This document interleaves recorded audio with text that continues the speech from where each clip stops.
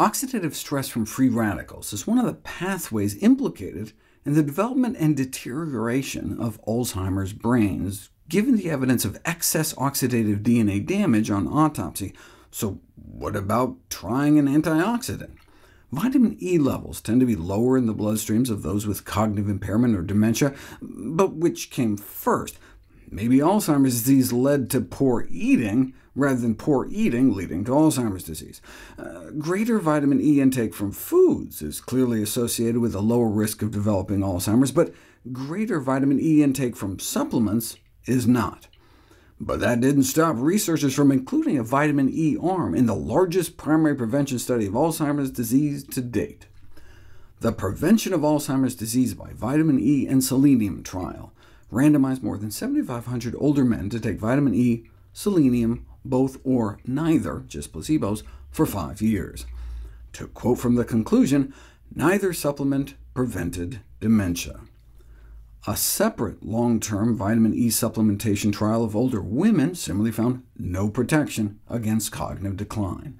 Neither did vitamin E appear to benefit those with mild cognitive impairment, but the trials on Alzheimer's patients themselves started to get more interesting. The first trial, published in the New England Journal of Medicine, randomized more than 150 Alzheimer's patients to vitamin E or placebo to see if vitamin E could slow the progression of the disease.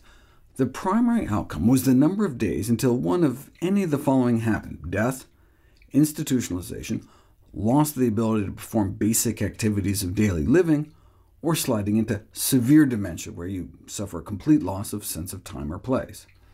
On first analysis, vitamin E flopped, no significant slowing of progression. Digging deeper, the researchers realized that despite the random allotment, the placebo group, just by chance, ended up with patients with milder disease. After taking that into account, the difference in outcomes between the vitamin E and placebo groups widened substantially. Now, this kind of unplanned post hoc analysis is heavily frowned upon, but the effect seemed so sizable they went ahead and published it. In the placebo group, the adjusted time to death or loss of independence was 440 days, but in the vitamin E group, after the baseline cognition was normalized, it was 670 days, more than seven months later. However, given the unorthodox analysis, the scientific world waited for the study to be replicated. And here we go.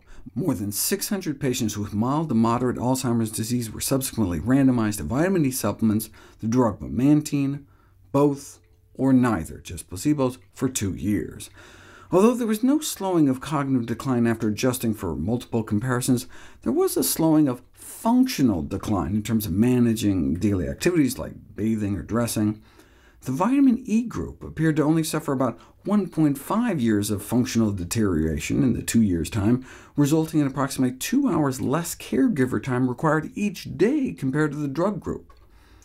If those were the only two clinical vitamin E trials, I would give vitamin E serious consideration for those with Alzheimer's disease. But there's a third, a six-month trial that suggested vitamin E may be detrimental to cognition in some Alzheimer's patients.